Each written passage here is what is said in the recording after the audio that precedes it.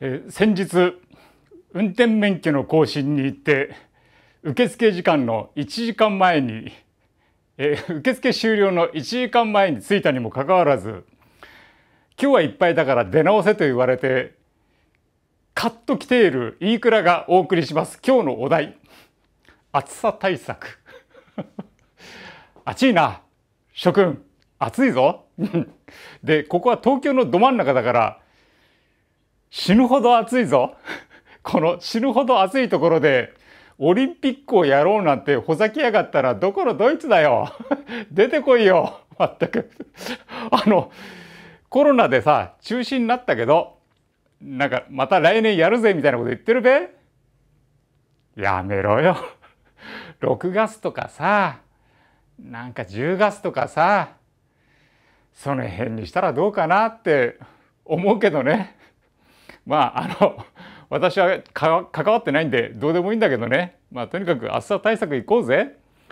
でだ世に言う暑さ対策ってさあのメディアなんかがやるのは絶対商品なんだよお金が動くことしかやらないんだよ。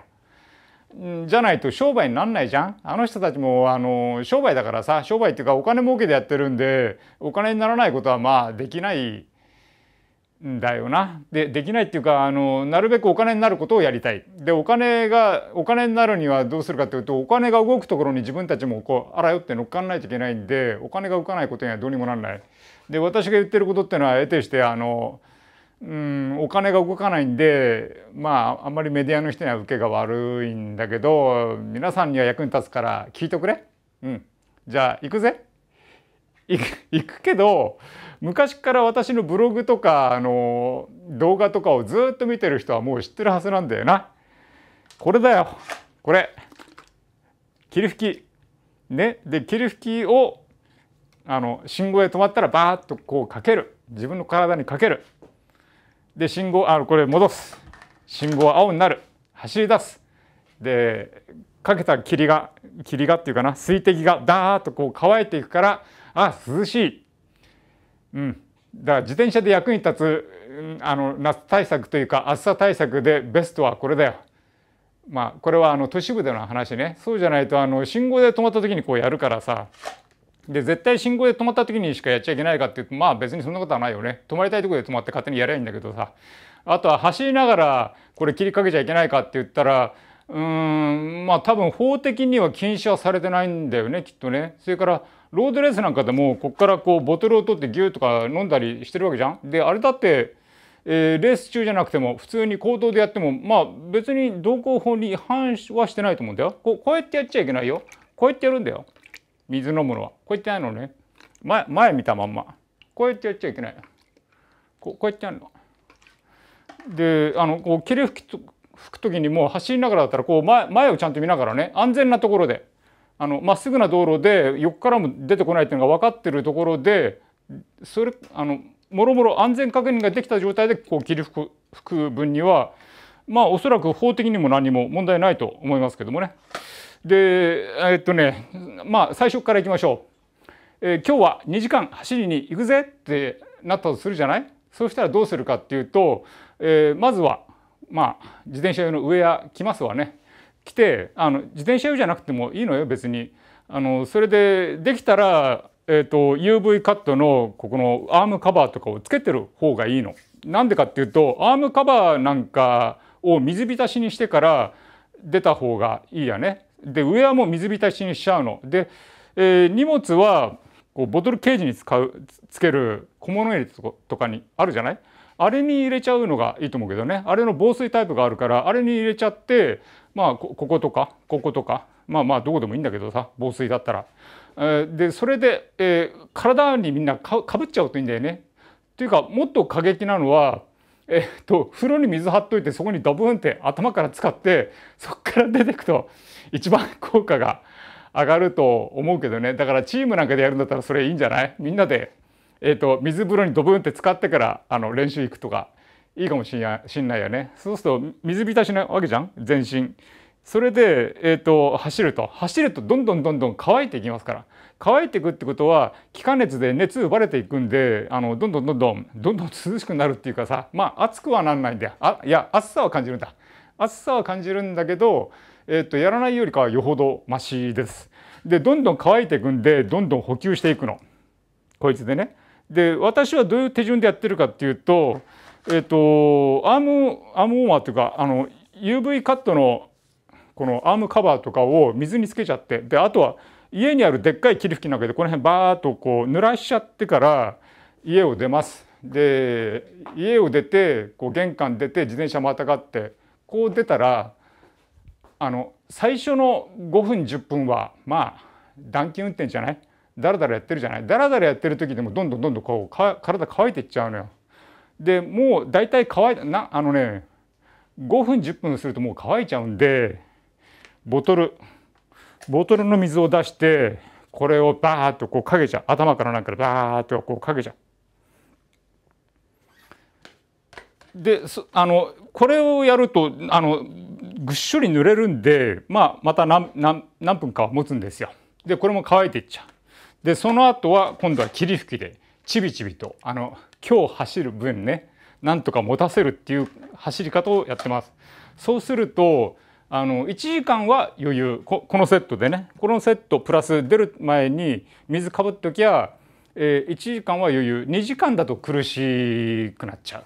で私はね夏はこうなってんのね。こうこうここに霧吹きで霧吹きはねえっと、前も紹介したちょちょっとこれあの下にリンク貼っときますね。これはホームセンターなんかでも売ってるし、えっと、確かねネットでも普通に買えます。あのなんとかって日本メーカーこれ下にリンク貼っときますんで、えー、あとはあのうちのブログなんかにもあのリンク貼っときますんでちょっとまあ見てください。えっとでこれのねいいところは何なのかっていうとトピークのこの開きを調整するボトルケージあるじゃない。これここでぐるぐるってやると調整できるやつね。これにこうピタリと収まるの。ピタリと収まるのとこれは私はこれ3シーズンぐらい使ってるけどなかなか壊れないんだよね、うん、いいみたい。あの500円ぐらいかな。でもう一個いいのはここで調整が効く。霧の状態が。で私はどうしてるかっていうとこのくらい。でこれをねちょいと回すとほら霧がわーっと広がるでしょ。で逆回しにするとこうまっすぐこれだとまっすぐ。まっすぐすぎるのとえっ、ー、とこのくらいかな。私はほどほどあのまっすぐ行ってくれるようなのでここバッバッバッとこうかけるんだけどここやってみようか。こう。私はここんな感じに。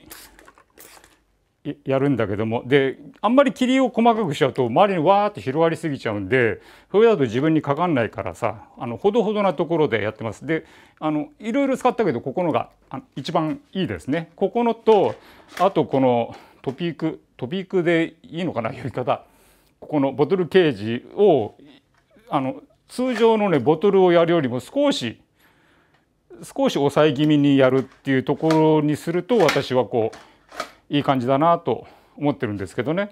でこれこれ両方とも水ぶっかけ用になっちゃって飲む水がなくなっちゃうんで私は夏はここにもつけてるんですけどね。これはねあのこれなんだっけ？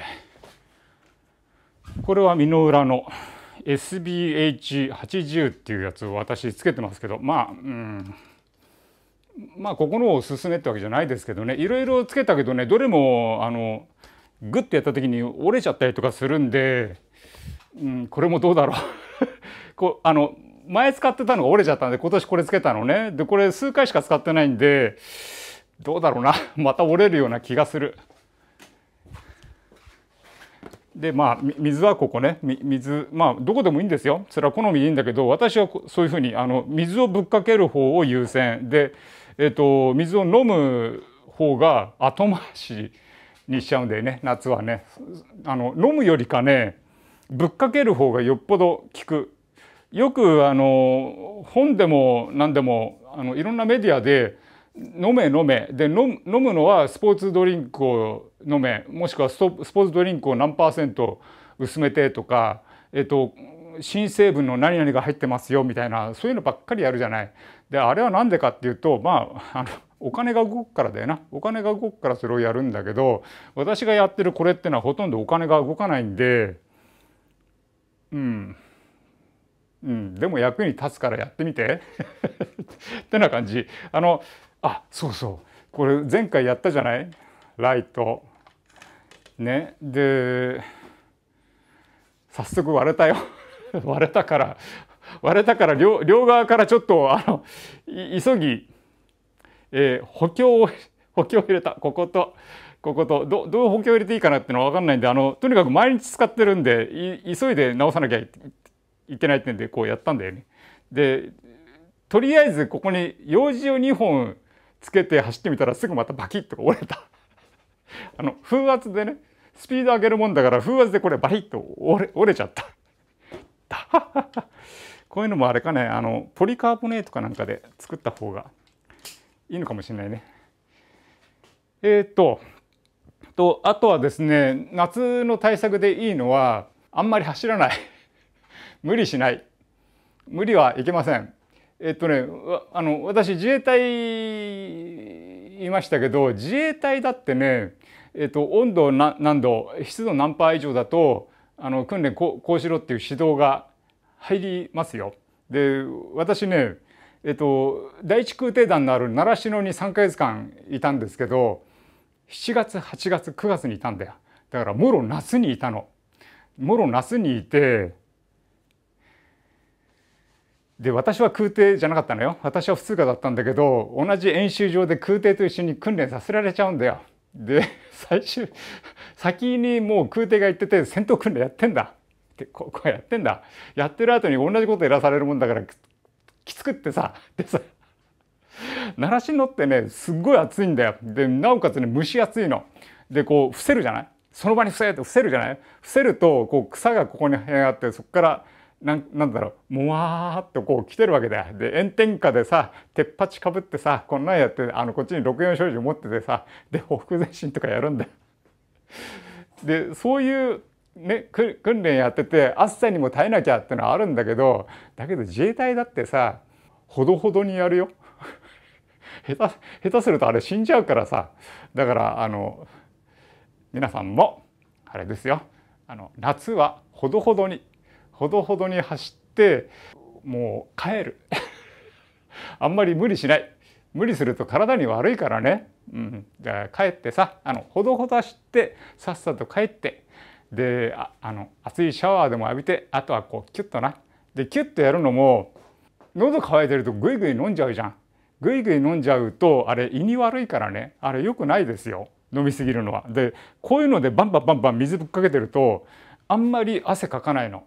あの汗かく前に汗かいてる状態にああの表面を持ってっちゃうからね。でここ今もう今でも濡れてるでしょ？だからこうやって汗かいてる状態を人工的に作っちゃうんだ。汗かく前にこの汗かいてる状態にしちゃう。これをやることによって汗をかく量がぐっと減ります。それによって後になってからガバガバガバガバ冷たいものを飲むっていうのが少なくなるんでお腹にも優しいですそういうふうにしないといけないそれじゃそれじゃないとあのバテちゃいますからねあのガバガバの飲む方行っちゃってそれで食べる方がおろそかになって結局バテちゃいますだからこういうのをこう水をぶっかけてで気化熱で自分を守るようにしましょうあとはあんまり走らないうんだから夏に夏対策っていうのはこれですよ。ね。あとはね常識的な暮らしをしてればもうたくさんだと思いますけどね他にこういろんな言い分があるじゃない？いろんな言い分があるけれど、えー、唯一明らかな効果があるのはこれですよ。でこれの難点はみんながやってないってことだけだから。ね、あの私こうアクションカムつけるようになったでしょ？アクションカムつけるようになって何年だろう10年経ったかな？10年は経ってないと思う。78年だと思うんだけど。で私が一生懸命布教をしてて割と見るようになりました。アクションカムなりなんなりを。このあの GoPro とかねそういう類のをつけてる人っていうのをちらほら見るようになった。だけどこれって私はもう十数年前から人におすすめしてるけどこれを使ってる人っていうのを私はね全く見たことがないね。だからこれをなんとか皆さんに知ってほしいです。これはあの役に立ちます。ね。たった500円でなおかつ、えー、継続するのにお金がかからないただの水だから ただの水を使ってるだけなんで、えー、お金がかからないでずっと続けられるですぐに効果が感じられる。やってる最中も感じるし帰ってきてからのねあの喉の渇き具合を比べてみてくださいよ。今まではねガバガバガバガバって飲んじゃってたのがあの1杯飲むと結構それで満足できちゃうから、うん、是非これあの試してみてください。おすすめします。